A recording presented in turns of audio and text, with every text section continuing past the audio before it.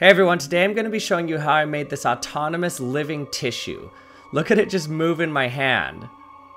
You can even cut pieces off of it and it doesn't just die, but the pieces keep wiggling like little worms. Look at these just wiggle around. This is so scary. So I've tried smashing these and they don't die, they keep wiggling around. So even though these look like they're alive, they're actually not. The way they're moving is through something called swelling-induced snapping motion. And they're made from polydimethylsiloxane and a little bit of hexane. So let me show you how I made these and how they're actually moving like this. So in order to do this, you need some really thin polydimethylsiloxane. That's abbreviated PDMS. PDMS is a polymer of silicone. It's almost completely inert, non-toxic, non-flammable. It's used in a lot of applications. So this is just gonna start the polymerization process. You mix this around a 12 to 1 ratio.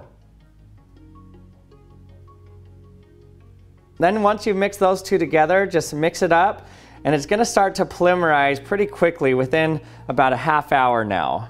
But what I wanna do is I wanna make this as thin as possible. So I'm gonna pour some in this cup here. And then I'm just gonna turn it sideways. I'm gonna get it all along the outside of the cup. And then I'm gonna turn the cup upside down so that it makes this really thin skin along the edge of the cup, along the outside of the cup. And then I'll also just pour some on here as well. So this is just some Teflon that I'll easily unstick from. So once you've spread your PDMS on here and let it polymerize, then you can peel off your sheet of PDMS. There we go.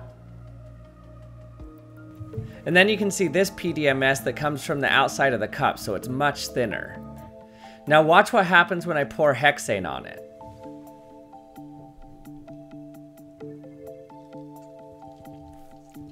The reason this is happening is because hexane is actually attracted to the PDMS bonds, and so it can actually absorb into the polymer matrix, and it expands the matrix. So you get a huge increase in volume. You can see this PDMS that I ground up in little pieces and then pour hexane on it, the volume increases. This is the same thing that happens when you pour water on super absorbent polymers like Orbeez. So all you do to make the worms is take the thin strips of PDMS, drop it in the hexane, and then wait for it to absorb. It only takes a few seconds because it's a really thin strip. And then you just get it out and let the hexane start to evaporate from it. And as it evaporates from it, the volume of the PDMS changes slightly. And because it's evaporating unevenly from the surface of the PDMS, it causes the PDMS to buckle. So in the places where there's more evaporation, it wants to scrunch together, and where there's less evaporation, it wants to spread out. So there's continuous random buckling. So with this setup, you can generate efficient, self-repeating locomotion. The snapping actually continues for a while. Because of the uneven evaporation of the hexane, the surface is continually changing and snapping back and forth. Scientists have actually studied how to use this autonomous snapping. In fact, it can be controlled pretty well. You can even make little discs of the PDMS jump up different levels just by evaporation of hexane. This type of snapping motion is actually used a lot in nature, and it's a way that animals can move really fast, faster than you can move with just muscle alone. For example, this type of snapping motion is how Venus flytraps work and grasshoppers and even trapjaw ants.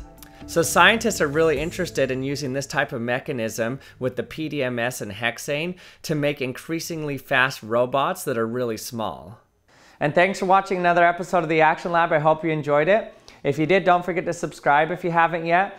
And check out theactionlab.com if you haven't seen my experiment boxes for sale. They're not going to be for sale for long, so if you haven't got yours yet, check it out now. And thanks for watching, and I'll see you next time.